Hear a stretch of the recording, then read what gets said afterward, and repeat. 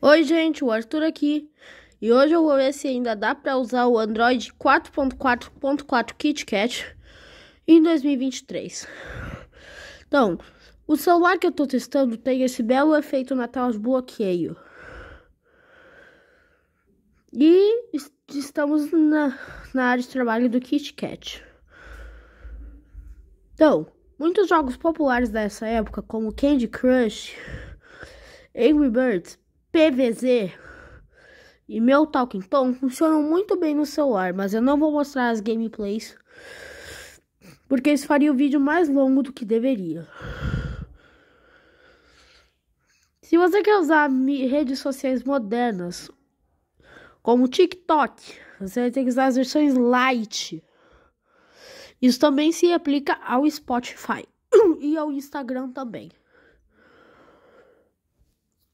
E como esse celular é providenciado pela Claro, a Claro também embutiu os próprios aplicativos deles aqui, que não servem nenhum propósito para essa, essa análise. A Sony também prestou um aplicativo chamado Rascunhar, que eu usava pra caramba quando eu era pe pequeno. Esse celular pertencia ao meu avô, sabiam?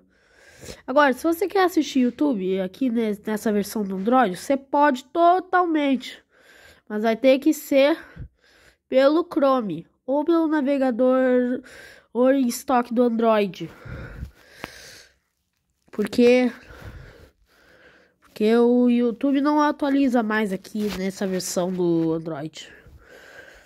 Ah, e sem mencionar outra coisa que a gente, que a gente brinca bastante é o famoso easter egg do Android. Normalmente você receberia uma letra K, mas aqui é um número 1. E aí você aperta aqui e fica brincando com, com os easter eggs de versões anteriores do Android. Muito massa, não é, gente? Eu acho que é muito. A qualidade da câmera também de, da câmera e do áudio também é muito boa. Eu vou demonstrar um pouco do áudio. Do sistema da Google. Lançado inicialmente junto ao Nexus 5, a atualização está chegando aos poucos para os demais gadgets da linha Nexus. Recentemente, atualizamos nossos aparelhos para a nova versão do Android e agora temos o prazer de compartilhar as novidades e nossas impressões com vocês.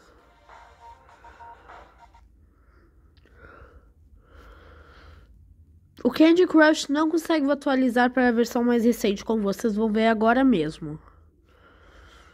Mas ainda, dá para brincar com a versão que temos aqui agora, não é?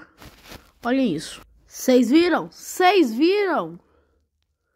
Então, não dá para atualizar, mas ainda dá para brincar nessa versão do Android.